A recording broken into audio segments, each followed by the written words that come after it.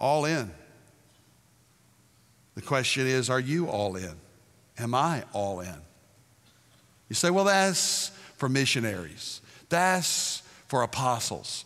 That's for Bible heroes. That's for preachers. That's for full time people. Again, who gave any of us the idea that being a Christian was part time?